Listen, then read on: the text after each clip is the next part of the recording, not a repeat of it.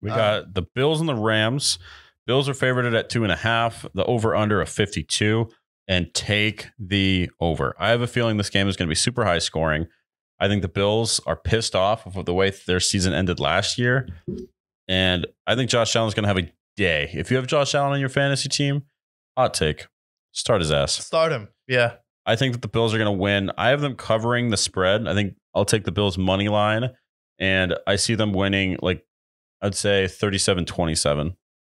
Yeah, that's a really good score. I see this as two different storylines heading into this game. We have Matthew Stafford, who's coming into this game. He just proved himself, got the Super Bowl MVP, led Cooper Kupp to having one of the greatest seasons ever, if not the greatest season by a wide receiver.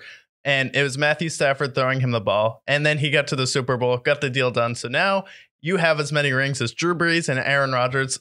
You're a guy and you have the stats to back it up throughout your career. With Josh Allen, though, you look at Josh Allen's career, made it to the playoffs, disappointing exits, um, loses to the Chiefs, doesn't get a chance to get the ball in overtime after playing two of the greatest games ever. But still, you have Burrow's made it to a Super Bowl, Lamar Jackson's won it, um, won an MVP, and those are the two players you're comparing him to. So there's a lot of pressure going on uh, with Josh Allen. That feeling has been eating at him all season. So expect Josh Allen to come out guns blazing and have a huge game.